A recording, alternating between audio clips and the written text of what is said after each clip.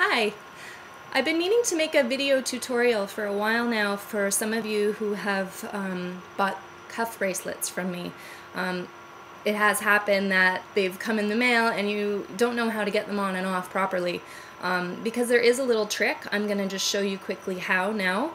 You, you don't want to be able to get the bracelet on and off um, this way because if you can do that, then it's going to fall off.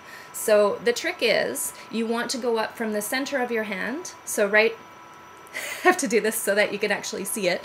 Um, from the tips of your finger, like right up the center of your hand, tuck in your thumb. And then once you get it to the center, which is actually the thinnest part of your hand, then you just flip it over onto your wrist like that.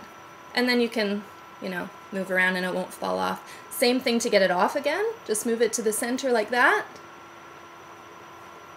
and then off right up the middle. So it's really that easy.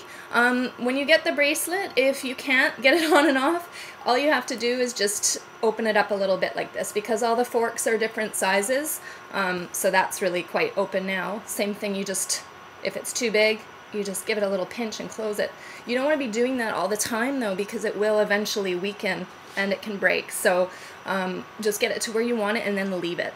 And then, um, yeah, as I said, just up the center and then flip it over your wrist and off again. Okay, that's simple. Thanks.